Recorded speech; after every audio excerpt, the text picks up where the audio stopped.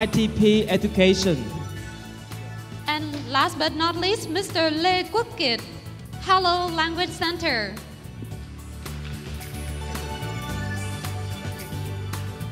Also, we welcome all the presenter and participant of language teaching and learning today, 2018.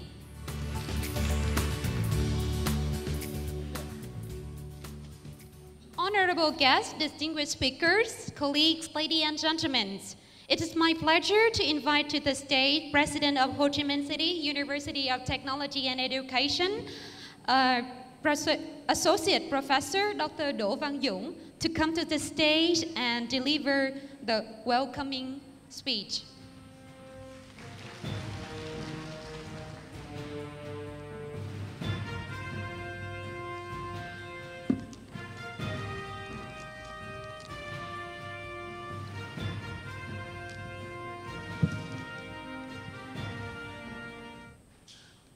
Honorable guests, distinguished speakers, scholars, ladies and gentlemen. It is uh, our great honor to welcome you all to Language Teaching and Learning Today 2018 held at Ho Chi Minh City University of Technology and Education, HCMUTE. As you should have known, HCMUTE is one of the most renowned and dynamic universities for training and research in Vietnam. It is committed to offering quality training services and fostering effective space for innovations. We have several programs accessed by AUNQA and the institution accredited at the national level along with the striving process of bringing fresh troops to the training services at the university, LTLT 2018 is proudly organized. This annual conference is a public forum for academics, researchers, lecturers, and stakeholders at different levels of their professional careers within the area of language teaching and learning to share research findings, provoke innovative ideas for classroom practice, and shape direction for the new research. This year, LTLT 2018 seeks to understand the diversity and unity of different teaching and learning practices in the globalized context of language education. The event is a forum for both local insights and international perspective to be shared and analyzed for better understandings and more effective practice of the field. Nowadays, the Industrial Revolution 4.0 comes to us everywhere. Every student comes to class to a smartphone and remains connected during class time at the physical room. Students can read the materials that teachers have never heard about. They may be exposed to a variation of English that the teachers have never experienced. This conference is therefore able to address the challenges and opportunities when we live in, we are living in the digital era with the artificial intelligence.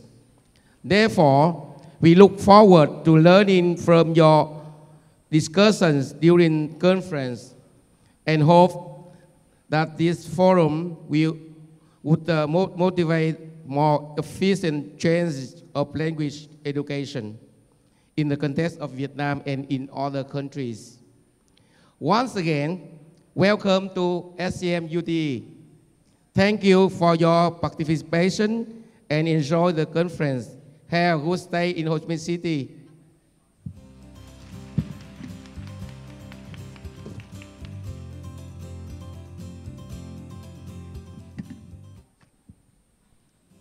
Thank you, Associate Professor Dr. Do Văn Dũng, for a remarkable speech. We are now going to listen to the opening speech delivered by Dean of Faculty of Foreign Languages, Ho Chi Minh City University of Technology and Education. Ladies and gentlemen, please welcome Dr. Đặng Tấn Tiến.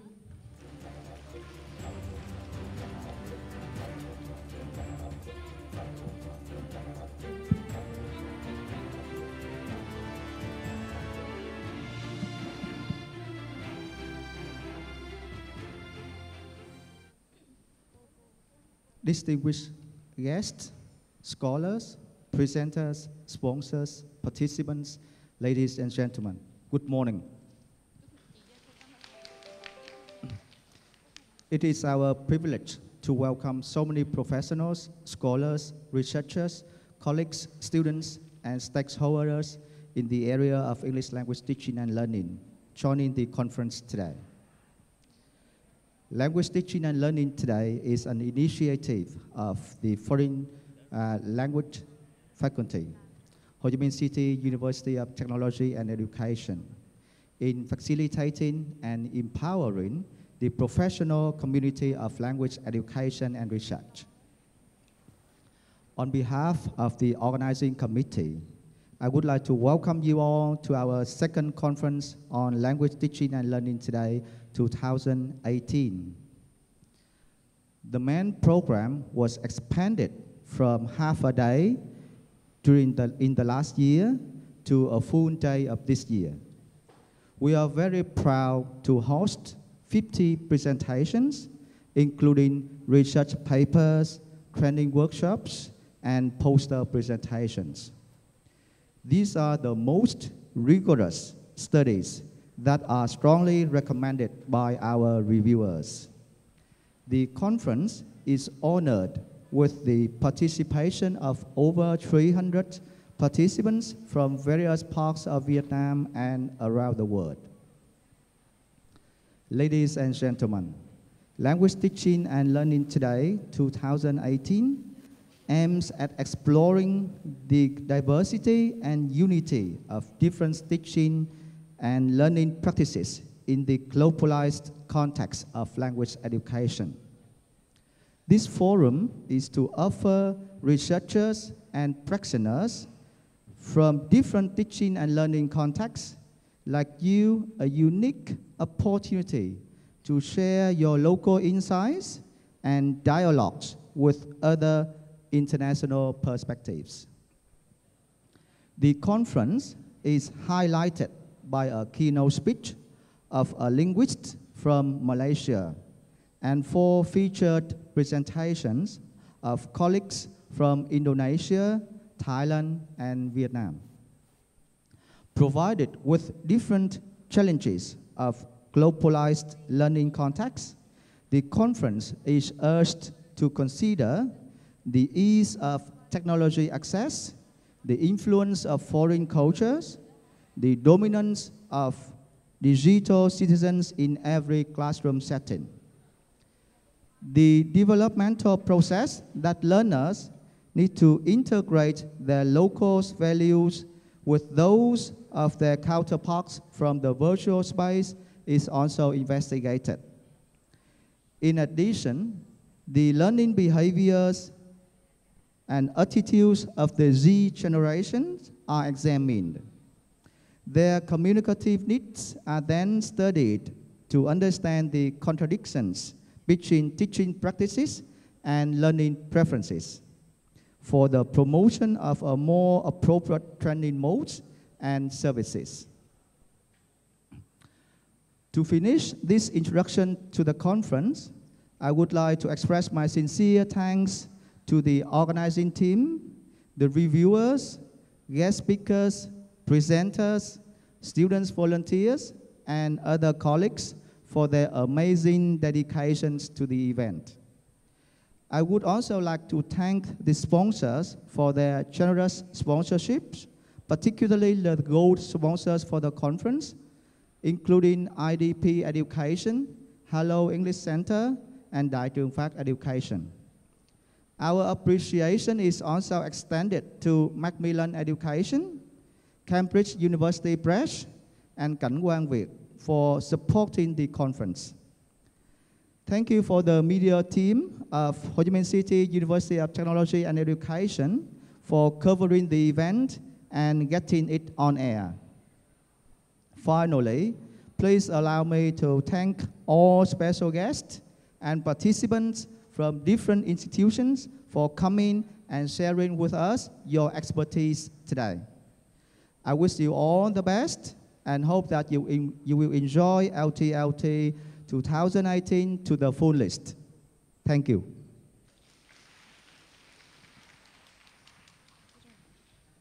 Thank you, Dr. Dang Tin Tin, for the remarkable speech. Uh, as the Dean already mentioned, event like this would not be possible without our dear sponsor uh, for your generosity and your long-term cooperations.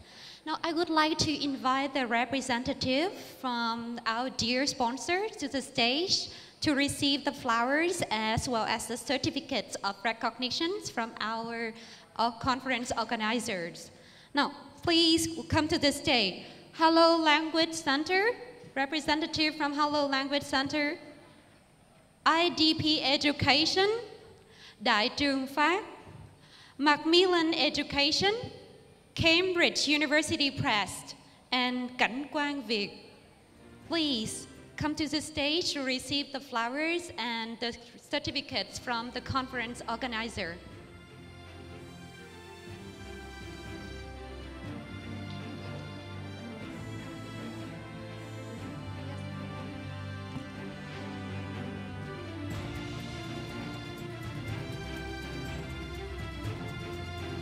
I would like to invite Dr. Dang Tấn Tín, the Dean of Faculties of Foreign Languages, University of Technology and Education, to come to the stage, please.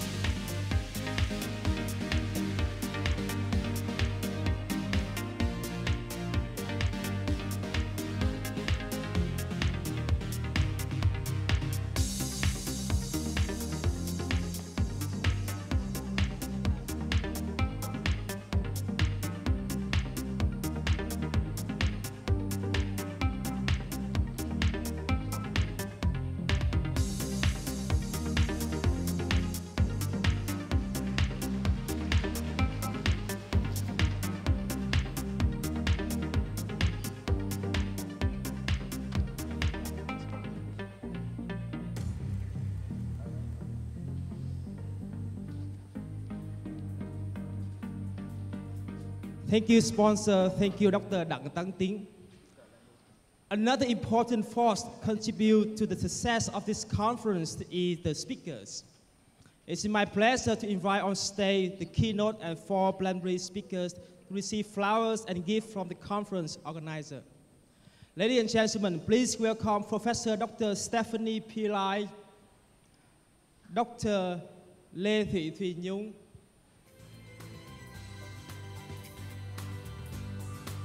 Dr. Nguyễn Thị Thúy Loan, Dr. Bùi Thị Thục Quyên, and Dr. Made Henry Santosa. May I invite on stage uh, Dr. Đặng Tấn Tính uh, to present the flower and gift to the honorable speakers.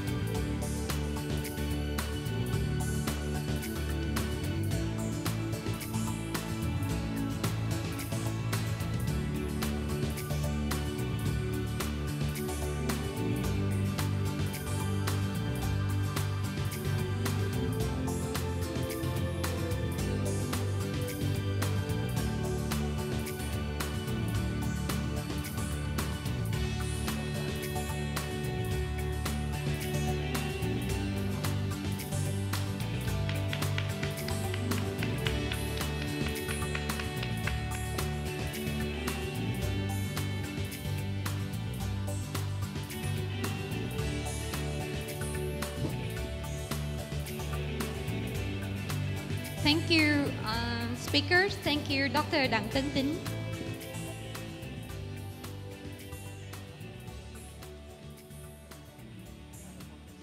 We are now continuing our conference to the next agenda, that is to hear our keynote speakers, uh, given by Dr. Professor Stephanie Pillai.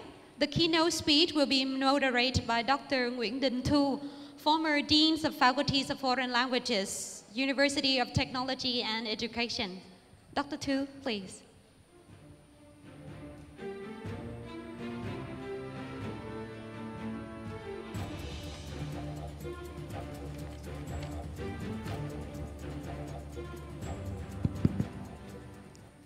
distinguished guests, presenters, uh, participants, ladies and gentlemen.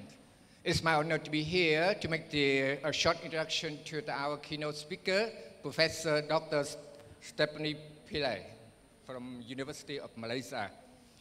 Uh, Professor Dr. Stephanie Pillai, currently Dean of Faculty of Languages and Linguistics, University of Malaysia in Kuala Lumpur trained as a teachers of English from Univers uh, United Kingdom. Uh, Stephanie joined University of Malaysia as the language teachers in 1993 and became the lecturer in the same year. She was an awardee of the Commonwealth Split-site PhD, completing her tenure at University of Newcastle, uh, UK. She was the 2017 Bill Bansamer Asian Scholar Adjunct 2017 and also the Ian Gordon Fellow at the School of Linguistics and Applied Language Studies at Victoria University of Wellington, New Zealand.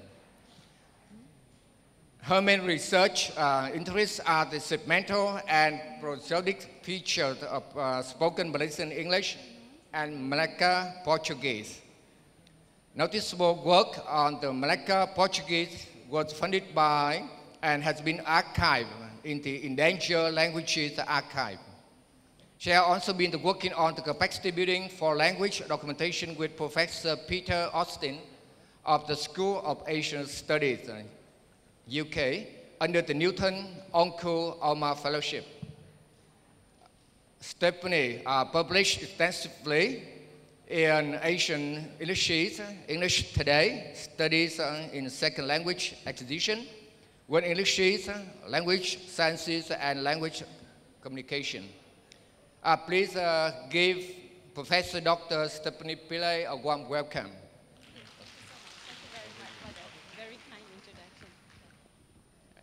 Right, thank you. We just set up a little bit. Okay, so yes, I think that's so.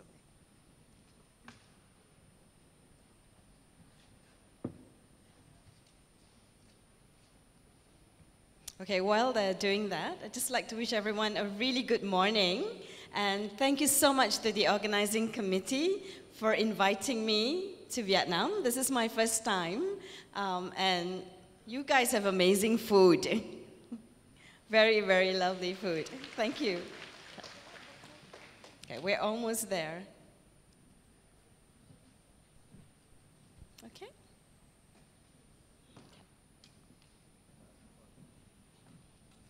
Can you get my slides up already?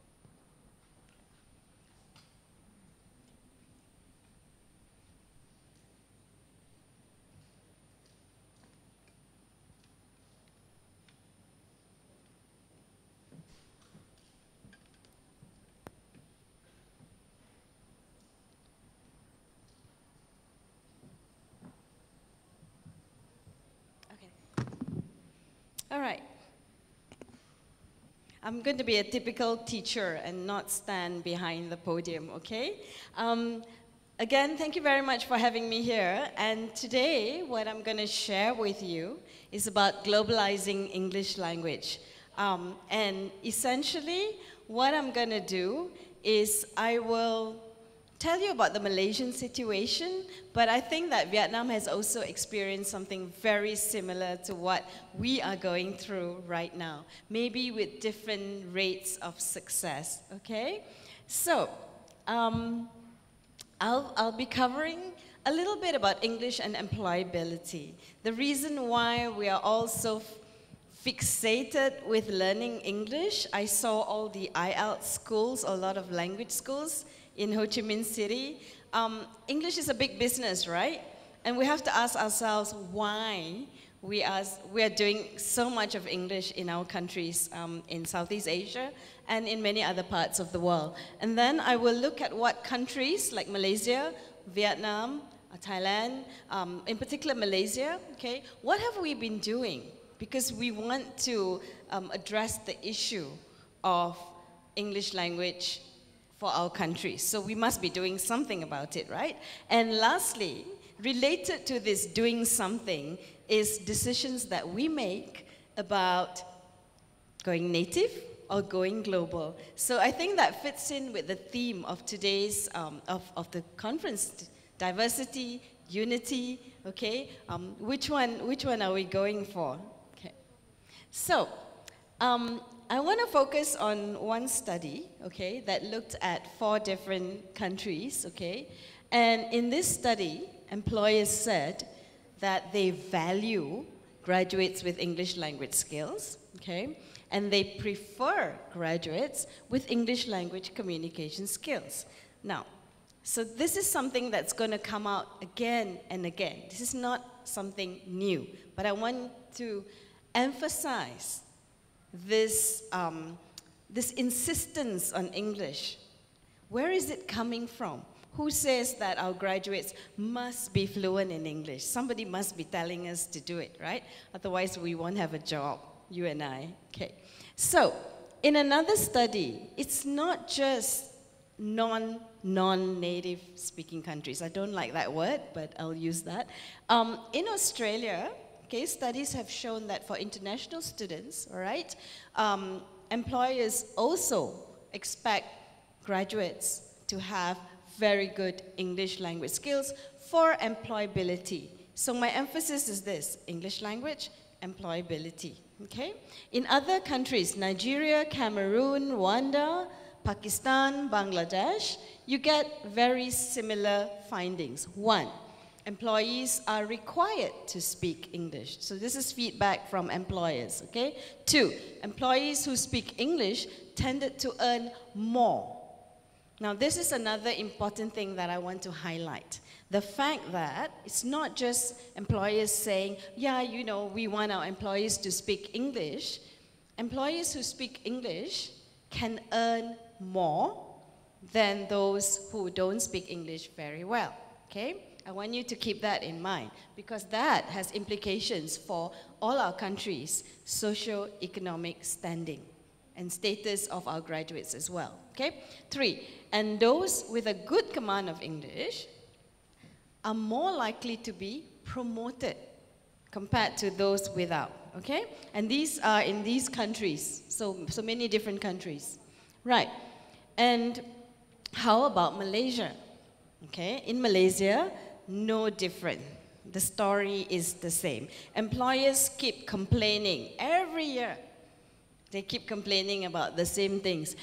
Graduates can't get jobs. We can't hire your graduates, especially those from local universities, because of their English, okay?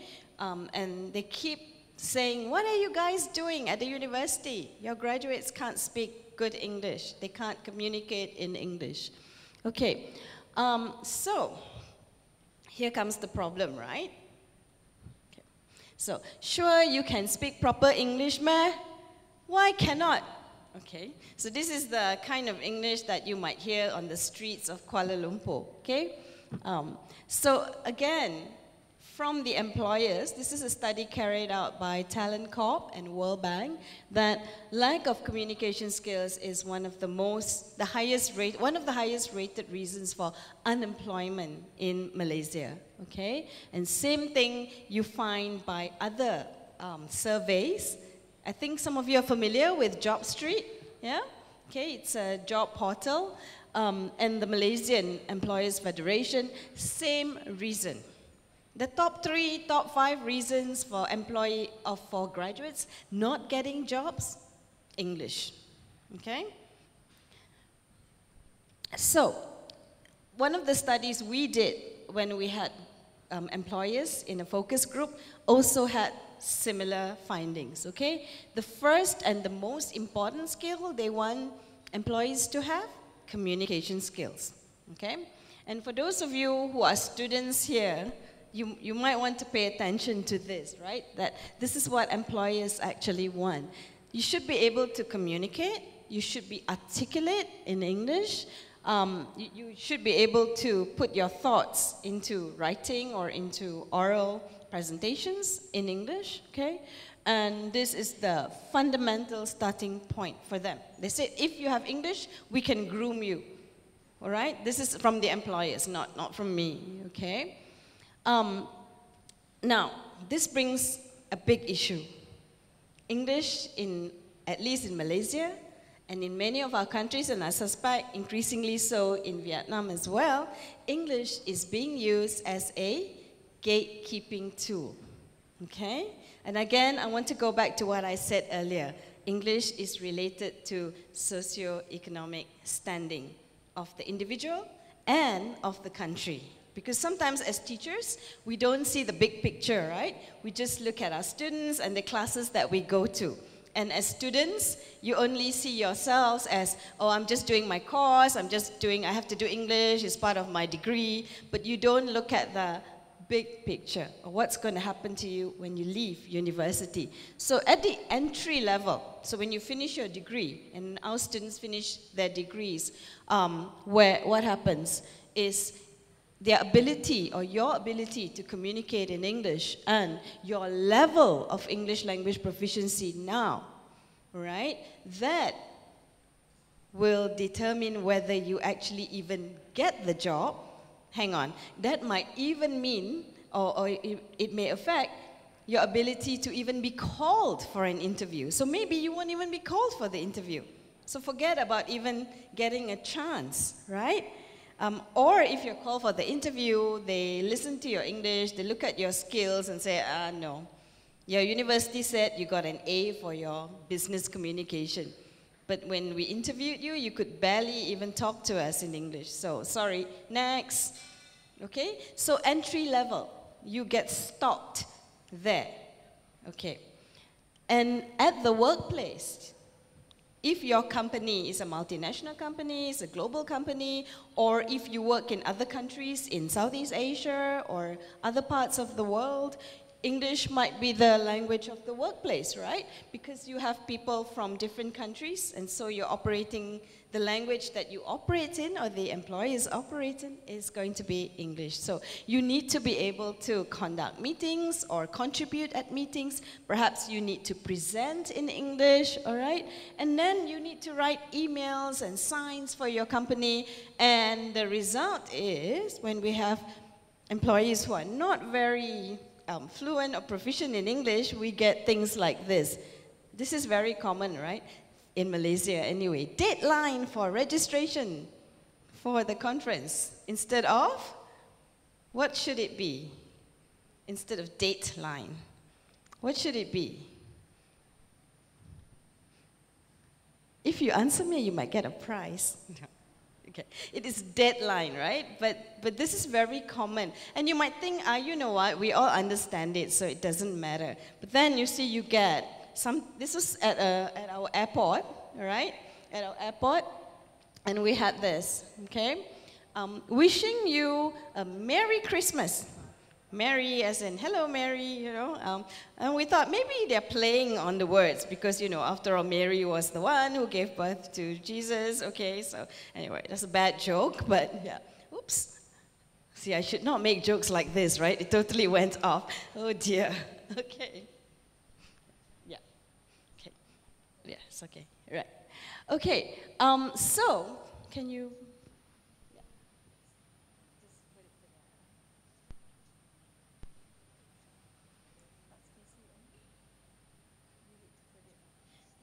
I should not make religious jokes. This is what happens. So bear with me and all will be forgiven. I hope. Okay. Right. So the, the point is employ, employers, including myself, right? At the University of Malaya, we have to do a lot of things bilingually because we have international students, international staff. Okay? Um, when your colleagues cannot write emails and so on in English that is, you know, grammatically correct, for example, or they're not able to get the message across, it's a lot of work for the superiors or the bosses because they have to check through everything. Every email that goes out, every sign that goes out. Okay? We are regret to inform you that the Viva is cancelled, for example. Okay? Now, if that's going out from my faculty to an international, um, you know, board of examiners, it represents my faculty, it re represents my organization. And this is why companies are also reluctant to hire people that they feel cannot represent them because of their low level of English. Okay? So everything is related. Why companies at the entry level have this gatekeeping for it and use English as a gatekeeping tool. And then why employees who then join companies don't get promoted or don't get paid extra if their English is not up to the level that the company requires, okay? So this is nothing new. For those of us who've been in education long enough, and for those of you who are employers here today, this is nothing new, right? English the fact that English is related to employability, English is related to promotion opportunities, English is related to you getting a higher pay is not something new. Okay?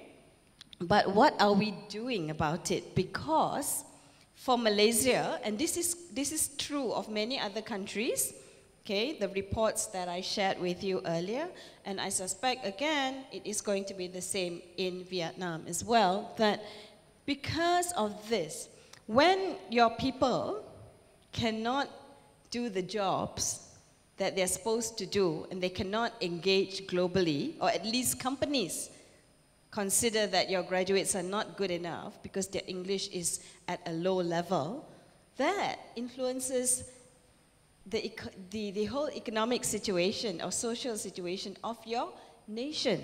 So if your country, like Malaysia, want to go towards being a developed nation, but we do not have the people, the human capacity to do so, how are we going to achieve that status, right? And the Federation of Malaysian manuf um, employee manufacturers is also concerned. They said that if we can't do this, then how are we going to achieve developed status? Okay, it's not just about building, building, building, right? Or having great highways or, you know, modern transport system. Yeah, that's all important. But what about the people? What about the human capital? Okay? So, in Malaysia, just to explain um, a little bit for those who come to university, okay, before coming to university, they would have had 11 to at, at least minimum of 11 years of English language education, right? From primary one to primary six, secondary one to secondary, the, the fifth year, so from one to form five. Okay, so at least 11 years of English language education. So you would think, after all that English, hey, they should be okay, right? They should be okay to go into higher education and do their courses in English, okay? Or they can then enter the job market, or from secondary school enter the job market, maybe work in hotels, in the tourism industry. Well, and if we can achieve that, then we have a society that is more equal, right? There is not so much of a gap between those who can and cannot, those who have and those who haven't got um, a good education, a solid job, okay? Um, they'll be able to work abroad. They can go overseas. They don't have to just work in Malaysia. Or they can work in multinational companies. And remember what I said earlier, because if you have English, you get the job. If you have English, you get promoted is more, you know, your chances at getting promoted are higher. And you may get a higher pay, which means that in terms of dollars and cents or whatever your currency is, you should be better off than those who don't have English. And your opportunities to work in multinational companies or to work in other ASEAN countries or abroad, yeah, are higher. Okay. Okay. So, problem. That is the ideal situation, right? So after 11 years of English education, Malaysian students should have a high level of English. Okay, but in Malaysia, we have at the primary school level, we have three mediums of instruction. We have a Malay medium, which is the most common. This is government education, yeah? Okay, we have Chinese medium of instruction, Mandarin, and we have Tamil medium of instruction, okay? And at the secondary level, we have Malay medium of instruction. So our children are coming from different educational backgrounds. So you can see there's going to be an issue already. Okay, they're not coming at the same level. Okay, now we have at the moment in Malaysia we have so many policies. Okay, one of the current policies now is um, to allow what we call a dual language program. So schools can choose if they want to offer um, science and math um, and related subjects in English. Okay, they can choose. So some schools have gone on this, um, using the dual language program. And some schools just stick to being Chinese, Malay, Tamil, or Malay in secondary school level. Okay? So that's the current situation. So it's not like everyone goes through exactly the same medium of instruction. The curriculum is the same. So this is national schools, government schools, national curriculum. Okay. I want to show you what's happened. Okay. We have another issue. Okay. And why I'm showing you this is because it is related to English language education. Now, apart from the government schools, because Malaysia has aspirations we have an agenda to be an international education hub. So we now allow many, many international schools to be set up. In fact, we have more than 120 international schools. Okay, um, we have that this this was last year, so by now we definitely have more than 71,000 students enrolled. This is the highest enrollment in Southeast Asia. Okay, highest. And in terms of number of students, this is what I want to highlight to you. Um, look at the number of Malaysians in international schools. Now, most of these schools, the medium of instruction, what do you think the medium of instruction is? English, right? And the curriculum is obviously not the national curriculum because these schools will do whatever, mostly they do the British the Cambridge IGCSEs, okay? But it could be Canadian, it could be Australian, right? So it's not a national curriculum, right? This is quite a big number going to international schools. Now, in terms of student profile now, we have the government schools on one hand, right? Where children do English as a subject. Some schools choose to do to teach some subjects, science and math, in English under the dual language program. Children are coming from different primary school, different, different medium of instruction in primary schools. Okay? Then you have the international school. Medium of instruction is generally English, different curriculum, so they do everything in English in most of these schools. Who do you think can afford to go to these schools? Okay, so think, you have to answer me, but think in terms of student profile. Um, we don't have fees in government schools, but in international schools, you're going to pay a lot of money. And there are different levels of international schools, right? Most of these schools will be in urban areas. They're not going to be in rural areas, correct? Okay? So think about the student profile now. Kids going to these schools probably, probably already speak English at home because the parents would speak English and another language perhaps. So they may grow up bilingual or they may be dominantly English speaking uh, Malaysians. Okay, so they have that advantage, right? They come from urban areas, they go to international schools and do everything in English, communicate with their friends mainly in English. Compare this to the government schools. Okay, what am I trying to say here? we have a profile.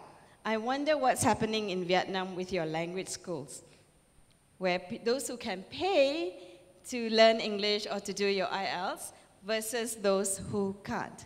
Okay? Right. So, what are the universities, what's the government doing about this? Because we now go back to the first issue, which is employers complaining about um, graduates not having good English, right? English being used as a gatekeeping tool, English as an opportunity for job promotion, English as an opportunity for getting higher pay, right? And then we see, oh, hang on, there's a problem here. There's a social divide. It's not equal for all our children. That cannot be. So we have to do something to make sure that they can go from campus to career or school to career, right? Because now, going back to the big picture, it's not just about your individual children. It's not just about each of you here, whether you're a teacher or a student. It's national interest. It's about national interest, okay? So, in Malaysia, this is our latest policy. We have a roadmap. And I know Vietnam kind of went through something similar. Thailand also has a similar plan for English language education. So in this roadmap, you can see that it's 2015 to 2025. We have certain goals, okay, that we have set. Um, and basically, I think you're all familiar with CEFR, yeah? So I'm not going to go through, but have a look at this and compare it to what your um, targets are, okay? So this is just targets that by 2025, this is our expectation, okay? Um, that students who come to university should graduate with a B2. That is very challenging for us when we have students coming in with A2 in three and a half years, A2 after 11 years of English language education, and how, how are we, what are we going to do to, ma to make them leave university with at least a B2? Is that even possible? Well, that's the target, so we have to sort that out, yeah? Okay. And why CEFR? I know in Vietnam you also use this as a target, but do we ask, uh, ask ourselves why? Okay? In Malaysia, it is seen as a alignment to international standards so that everybody is on the same page, right? Everybody knows if you say, okay, this graduate is CEFR, I don't know, B1, everybody will know what that means rather than you come with, oh, University of Malaya's A versus University X's B. It doesn't make sense. So that's, and we are aligning, just to go back to this, we are aligning not just university education, we are aligning everything from preschool to higher education, and we include, for the first time, teacher education as well. So it is a roadmap that's trying to look at English language education as a whole, okay? And it is already in its implementation stage, all right? Um, however, I also want to point out that, yes, you know the background of CEFR, right? I don't have to go through that with you, but I want you to think also that it was about can-do statements and it was supposed to be moving away from native, so-called native speaker targets. But what has happened is that it has, this is a danger of CEFR. And in Malaysia, we have to be very careful with this. We are still at the very initial stages. We have to be very careful that we do not become prescriptive, and at the end of the day, we do not then go back to no more diversity. We talk about one target, and it is a native speaker target. Okay. Right. I am going to just very quickly, I think I was shown something that says I have to stop now, so I will very, okay, I want to just talk about native speaker norms because we're talking about globalization, right? So do we really need to, to do this? Now, in ELSQ is the, the body, the English Language Standards of Malaysia, we have a council, and they are the ones who um, worked on the roadmap. They, they seem to feel that we need some kind of standard. They don't say it outright in the document. okay? But if you read between the lines, it seems to be like, no, we need to be, we need to have a native speaker norm. And in the Malaysian context, the native speaker norm tends to be British English, okay? Um, I have a little bit of a problem with that when it comes to pronunciation. So if you look at pronunciation in the CEFR document, you talk about a foreign accent. What is a foreign accent? So what? I have a foreign accent because I don't sound like the queen. I don't want to sound like that, okay? What, mate? I don't want to, I want to sound like a Malaysian, okay? And so I have an issue with this, and so I guess if I were to sit for a CEFR, I wouldn't do so well in the spoken, um, you know, in, in, in the speaking test. I'll probably, I'll probably get a B1 or a B2, maybe, because I have such a Malaysian accent, right? Okay. Um, so I want to very quickly, and I'm sorry I have to rush through this because we started a bit late. Um, I, I want us to think about it, okay? When we look at, it's very good to align to international standards, yes. But especially when it comes to speaking, perhaps there are more important things to work out. Okay, whether we understand each other, um, because if we want to say that we expect all our students in Vietnam and Malaysia to all sound like someone who comes from the UK, and I would ask you, which part of the UK? Right? As if there is just one spoken English in the UK. You get into a, a cab or a taxi from Heathrow, you probably won't understand the British taxi driver, okay? Um, because of his accent. So what? He doesn't speak good English or you can't understand his English? What is the issue there, right? So um, a lack of a native speaker accent should not be seen to, as lack of competence, okay? So in your, when you do your test for speaking, you need to be very careful with this, okay? Because otherwise you get into all sorts of um, issues, right? Um, Lionel Wee calls this linguistic conservatism, you know, still local is bad and native speaker is good don't, not accepting that there are localized versions of English, okay? Um, and then in the, in the case of Malaysia, we come with so many different language backgrounds, right? We have, we have four major languages, but we really have over 70 to 80 languages that, that children um, come, speak, right? So we're not taking this diversity into account. And we talk about there is no one Malaysian English. There are several types of Englishes that we use in Malaysia. Okay? So if I were to speak with a fellow Malaysian, I wouldn't sound the same um, as how I'm speaking to you right now, right? You probably wouldn't understand me at all. But the thing is, I can switch, right? I can switch from one type of English to another kind of English. But for our students, we sometimes do not expose them to different kinds of Englishes. We do not give them the kind of repertoire or different Englishes that they can move from one English to another, from local English to a more globally intelligible English, right? So this is, rather than making them go towards one, you must speak like this and no other way of speaking is correct, okay? Um, so something to think about, I'm just going to go very quickly through this, is that when it comes to English, at least for pronunciation, we have to be very careful because there really isn't one established standard. Trudgill talked about this, many people have talked about this, and I don't want to go into this. I'm just going to say this, there isn't one standard, okay? And in terms of Malaysian learners, like Vietnamese learners, I'm sure that the majority of us our students are learning English from local teachers, yes?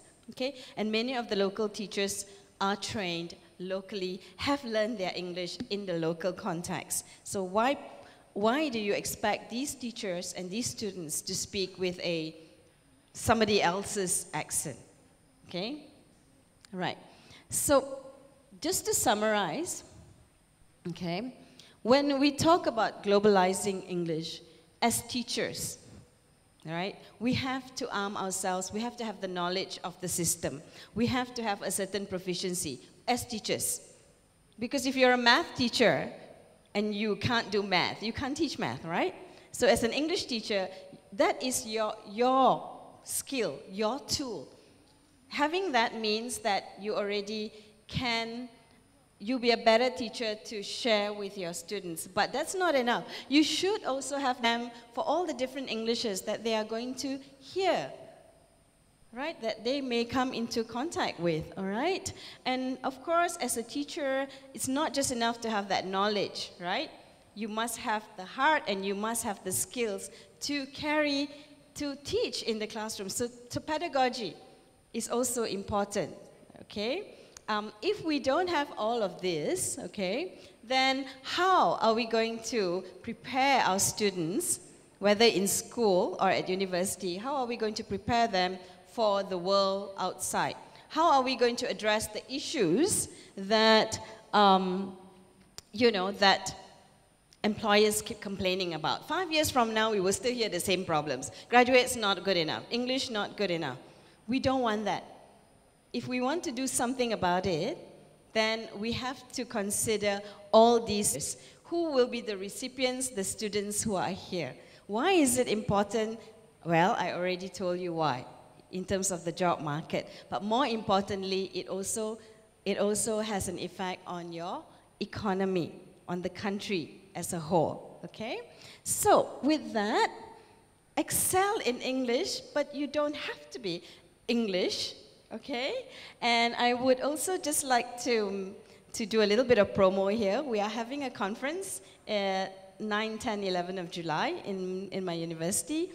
The conference itself is free. There's no registration fees, um, only fees for the, for the workshop. So please do visit the website to find out more, okay? And I think with that, I better end because I've been like waved at many, many times.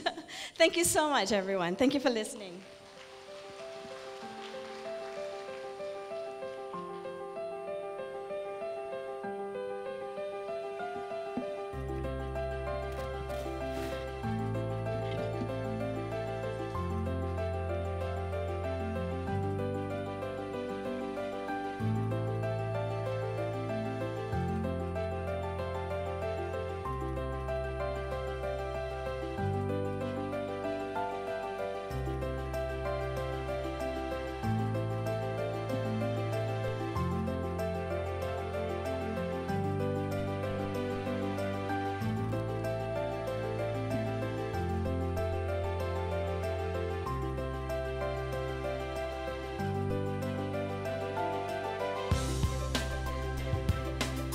You, Professor Dr. Stephanie Pillai, for your thought-provoking speech. If I may, I would like to introduce two more guests for our conference today. Um, I would like to introduce uh, Dr. Batle Ding of Department of English, University of Foreign Languages, Hue University.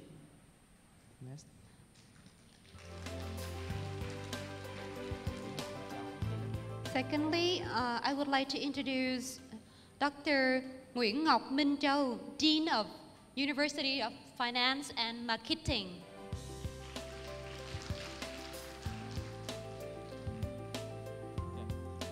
Now here comes our first preliminary speech delivered by Dr. Lê Thị Thùy Nhung. Dr. Lê Thị Thùy Nhung completed her MA uh, in Tissue Study in the University of Queensland, Australia, and her PhD in Education at the University of Newcastle, Australia. She has published articles and book chapters in international publishers, including Routledge Publisher. Dr. Lê is currently a division head at the Department of Foreign Languages, Banking University, Ho Chi Minh City, Vietnam. Her research includes teacher, teacher professional development, language policy, intercultural communication, and internalization of higher education. Yeah. Please. Dr. Nhung, please.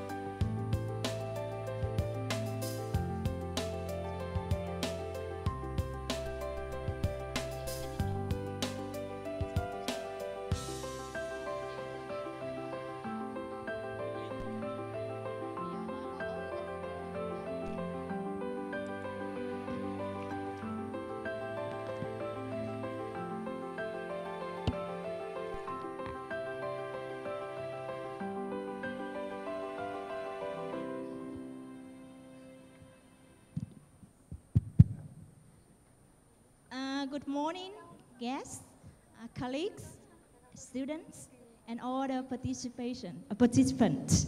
Welcome to my presentation. Uh, my name is uh, Nhung from Department of Foreign Languages, Banking Universities. I would like to take this opportunity to present in part the results of my doctoral thesis, which I completed uh, two years ago. Right. This is the topic of my presentation. My doctoral studies uh, investigated the experiences of students undertaking English medium courses in Vietnamese universities. Uh, my presentation will cover the following topics. First, I will present some background of English medium instructions. Then I will present partly some results of my doctoral thesis with a focus on qualitative, qualitative research findings. And then I will close my presentation with some conclusions. First, have a look at the definition of medium of instruction. What is it? Medium of instruction refers to the language, for example, English, used to deliver the content of non-language subjects, for example, history, mathematics, uh, science at the secondary schools, and specialist subjects, for example, law, business, engineering at the university level. How about English medium instruction? What is it? This is an instructional approach which use English as a means, as a vehicle, as a medium to deliver the content of non-language subjects or uh, specialist subjects at post-secondary level. So here are some features of English medium instructions. First, the language of instruction is English. Second, the language objective of English medium programs, English proficiency is not aimed at. Third, who are the teachers and the students of English medium programs? The teachers are non-native speaker of English. And the students who take part in English medium programs, they already master on the content, not on the language. And the teaching materials used in English medium programs are produced or written for the native speaker of English.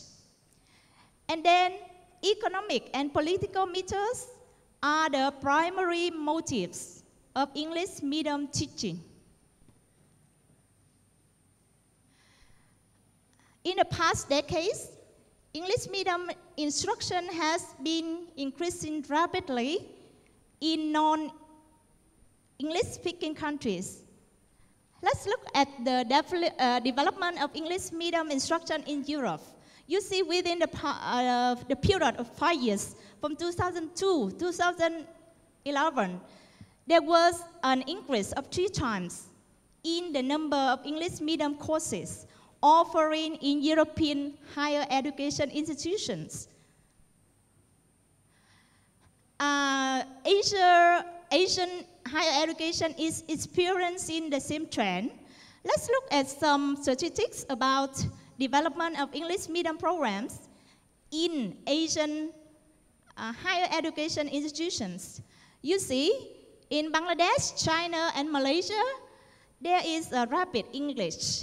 In East Asia, uh, for example, in Japan and Korea, the government provide, is providing fundings for the English medium courses at universities in Korea and Japan. How about in Vietnam? You see, we are experiencing the same trend. Uh, currently, we have two English medium instruct, uh, medium in uh, universities. Uh, as you know, uh, we have um, English um, Vietnamese English medium instruction uh, university in Ho Chi Minh City, and uh, one uh, another one is a German university, which instruct entirely all the programs in English. And then we have about seven universities are now offering English medium courses and program. And then English medium uh, is also present in training programs, advanced programs, and especially high quality programs. So, in general terms, English medium instruction is driven, is driven by two major forces, globalization and internationalization. Right.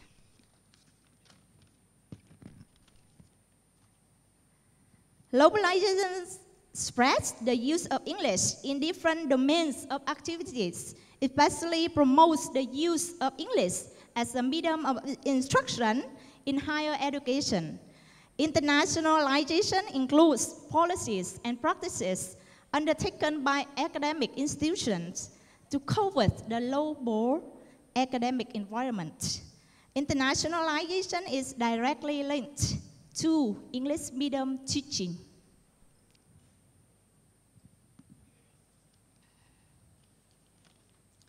What is the current push for an increase in EMI offering in Vietnamese universities? First it's a political decision. Recently, the government has encouraged universities to introduce EMI programs.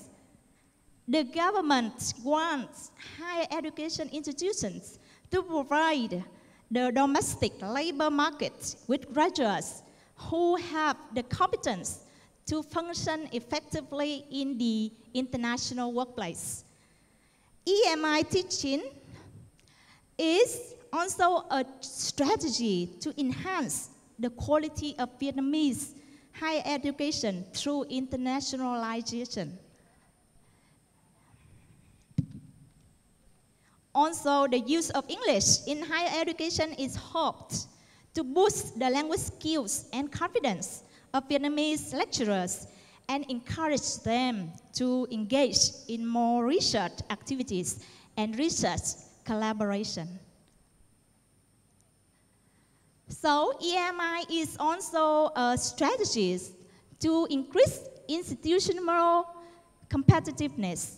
In the past decades, due to expand, expansion and privatization of higher education, the universities now are competing for tuition income and then for the best students. So offering EMI, EMI programs is one of the strategies that universities use to attract high performance students and also to increase the institutional income.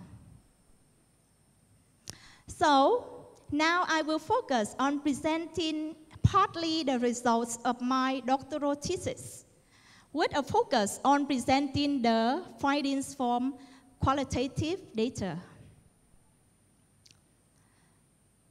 So my research projects pose the following research questions. It sought to understand the student motivation for enrolling in English medium programs. And I, I like to know the challenges, to understand the challenges and the benefits perceived by the student enrolled in English medium programs. And so I wanted to know what were the overall attitudes of the students undertaking English medium courses. So um, research project was carried out in 2014. This is the qualitative component. 10 focus group interviews were conducted at four universities. And then there were 52 undergraduate students undertaking business courses at two private and two public universities participating in my research project. So the first question, students was, were asked the first question, why did you undertake an EMI programs? So here are the three popular responses. First one, students wanted to improve their English proficiency.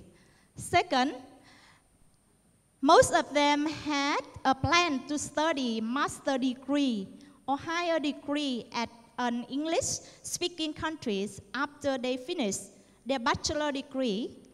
So pursuing English medium programs in Vietnam will provide them the solid background for them to further their postgraduate studies overseas.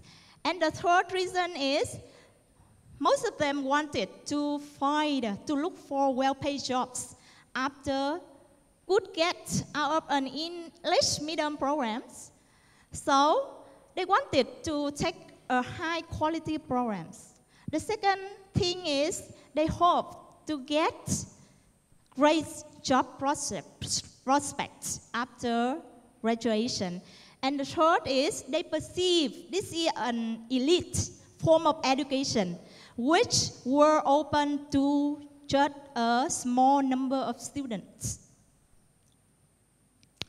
So the second question, what is difficult for you when you undertake an EMI programs? So the first, uh, the greatest, one of the greatest challenges is reading the textbooks and course materials in English. Most of the course books and materials used in English medium programs are written in English, and they are the original textbooks written and produced for native speaker of English. So uh, the, they, the student report that they had a very uh, heavy load of reading, and then when they read, they found uh, a lot of technical concepts and vocabulary that they didn't understand. And then the writing styles and convention of English, original English textbook word, very difficult to understand. So reading the course material is the first challenge the student experience when they first enroll in English medium courses. So the second, the um, second common response is understanding EMI lectures the majority of lecturers delivering, delivering English medium courses are Vietnamese native speaker. So the student complained about lecturers' English. They, they said that, they reported that they didn't understand the lecture, some lecturers' pronunciation and accents. So it took them quite a while to get used to lecturers' English.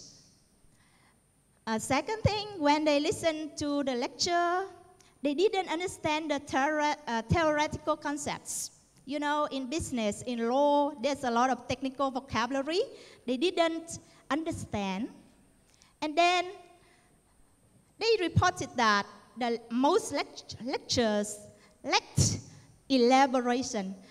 The lecturers didn't understand, uh, didn't explain a lot about technical vocabulary in English. You know, the lecturers found it very difficult to elaborate the content of the lectures. So, and the majority students reported that they found it very difficult to take notes during the lectures.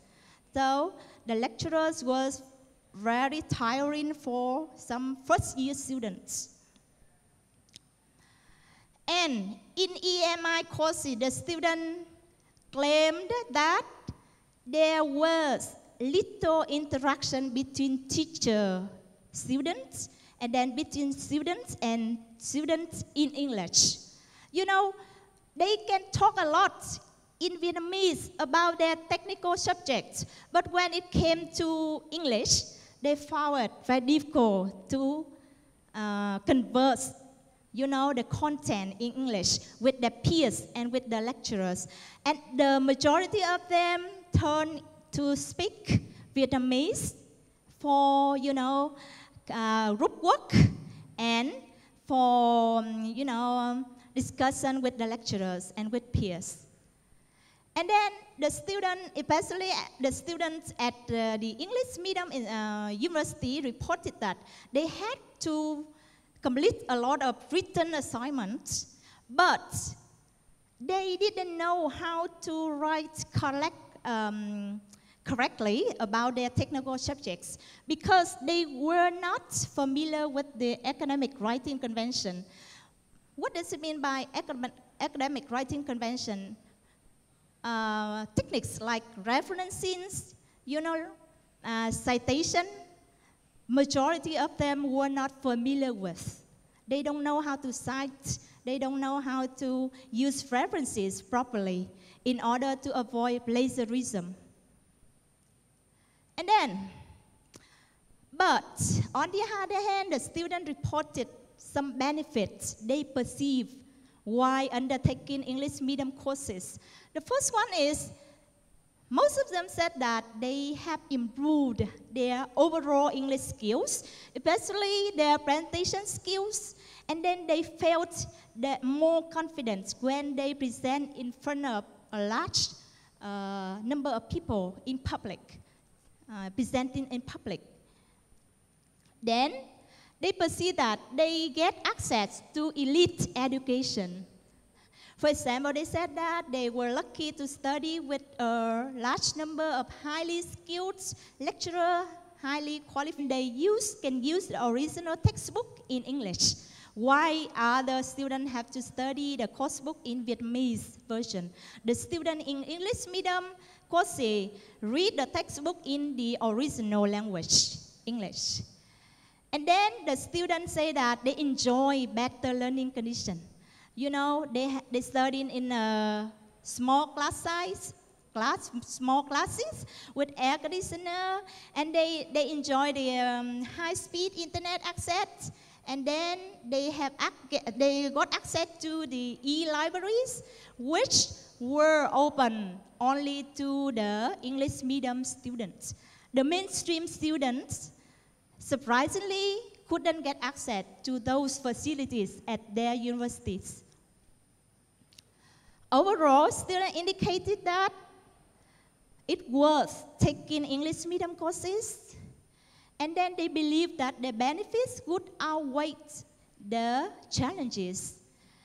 And they strongly believe in the economic returns of EMI. It means that majority of them were positive because they thought that they would get good jobs after finished universities.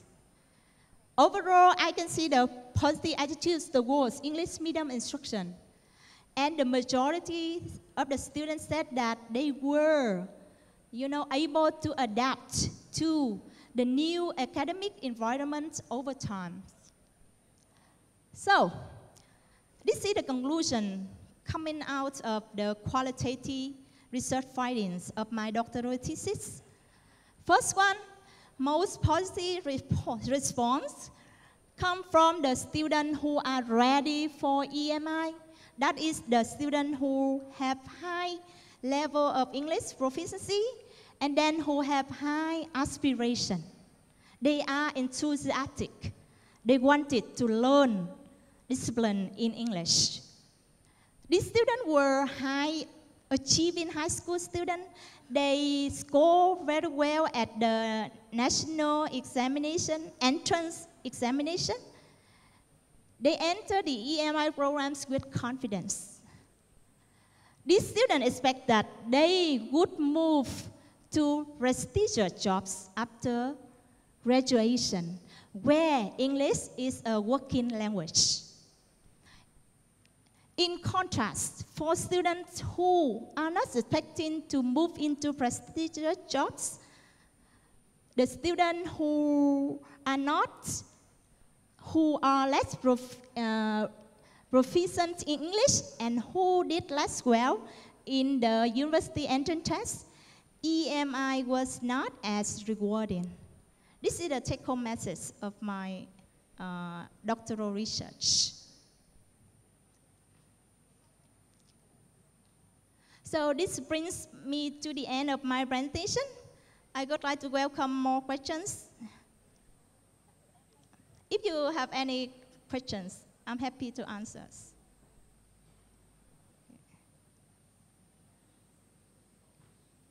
Okay, good.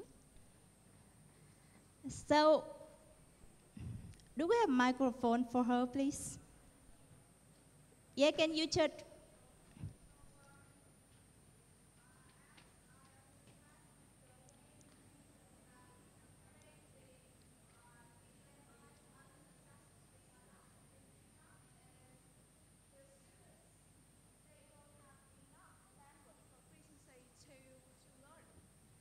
So, what's your suggestion for this?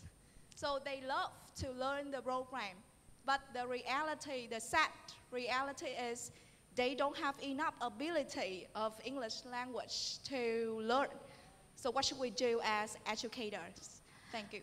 Um, from the results of my uh, research, uh, research, you can see that um, for those who don't expect to move into prestigious jobs after graduation, these students tend to have lower level of English proficiency and who score less well in the uh, national entrance test. These students, you know, English medium uh, perception and experience of lecturers who did should be well prepared in terms of the English proficiency level for the student before they enroll in, before they start English medium courses. Prepare uh, by providing the well prepared English preparatory courses. For the lecturers, the majority of lecturers engaged in English medium courses and programs are Vietnamese native speakers and majority of them lack the training in EMI pedagogies. They learn the practice of teaching through errors and trial, trial and errors. So the question is now for EMI practices in Vietnamese university is to provide teacher training for the lecturers and provide English preparatory courses for the student and the academic skills for the students. So first one, teacher training and then English trainings should be in place before offering EMI courses. That uh, those are some of the suggestions for my thesis. Any other questions, please? Yeah, please. Welcome, please. Um, I have a question. Uh, it's related to the students' difficulty in understanding the authentic text for uh, native speakers. Uh, I want to ask if there is a possibility for teachers to simplify those texts and to give the students to read and understand the gist first. And after that, give the authentic text later for them to uh, have more comprehension of the native ways of expressing ideas. Is that possible for teachers to do so? Can I confirm my understanding, please? You said that... Uh, that the students have difficulties understanding the native uh, text, the authentic, for them to understand the text Yeah. first, and Yeah. then give them the authentic text later. yeah, Is you, that possible? Yeah, yeah, you are exactly right. This is one of the suggestions coming out of my thesis. The use of English textbook in the original without modification and simplification presented a lot of problems for students. It's a good idea to, to simplify the, you know, modify the English textbook to suit the student language levels. This is one of the suggestions. You know, we have the same ideas. Yeah, thank thank you. you. So, do, any questions? The last question. Thank Good you. morning. Um, first of all, I would like to say thank you for your interesting presentation. And I have a question, which is not quite um, very related to Yeah. this. But um, as you said that English medium instruction is good, uh, sorry, Vietnamese medium instruction is good, but English one is better. But my question is that if we consider our current context in Vietnamese universities and high schools, we can see that not many of our students can communicate and use English very fluently if we only use English as the only one, only medium instruction Yeah. in teaching and learning. So, can we, in some way, use Vietnamese? Why not? Yeah, I, I say that. But I want to uh, ask for your suggestion or advice that how much Vietnamese uh, consider with using English in our language teaching and learning. That is my first thing. That is your suggestion. that Ah, yeah. How was the, per, the percentage of Vietnamese versus English in our language teaching?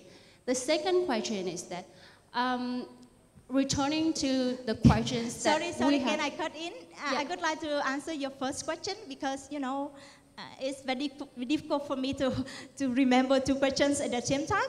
Okay, so after that, Yeah, I yeah. will- Let me answer your first question. Thank you. like, uh, for my study, what I see is that the radical move into Engli- English medium instruction in Vietnamese university presents have presented a lot of problems. Most universities nowadays encourage lecturers and students to use 100%, you know, English in the EMI classroom. This is not a good idea. When the students are not ready, when the lecturers are not ready for EMI. So, back to your questions, back to your suggestion. So, my, my findings and my suggestion is that the implementation of EMI needs time and takes time. It depends on the level of English proficiency of the academic skills of the student. It depends on the institutional resources. So why don't we implement it gradually? For example, first, just 30% of EMI in the classroom, and then 70% of uh, English medium instruction, and then when the level of English of both lecturers and students are increased, and then we implement 50% of EMI, for example, with the PowerPoint slide in English, and then with the instruction language in Vietnamese, and then gradually the student can catch up with, you know, EMI in Vietnamese classroom, in Vietnamese um, uh, classroom, and then when the level of English proficiency of student and lecturer are, uh, are higher, and then we will introduce 50 um, from um, 80 to 50 percent to 100 percent of English medium classes, and then I think this is much better than radically move to EMI without proper preparation for EMI. So actually, the students and lecturers are not ready for EMI yet in Vietnamese uh, context, you know, and it presents a lot of problems that needs further research. This is um, the results of my doctoral thesis. Thank you very much for your questions. And uh, I think uh, I should uh, close my presentation here to give time to other presenters. Thank you very much for listening. Thank you.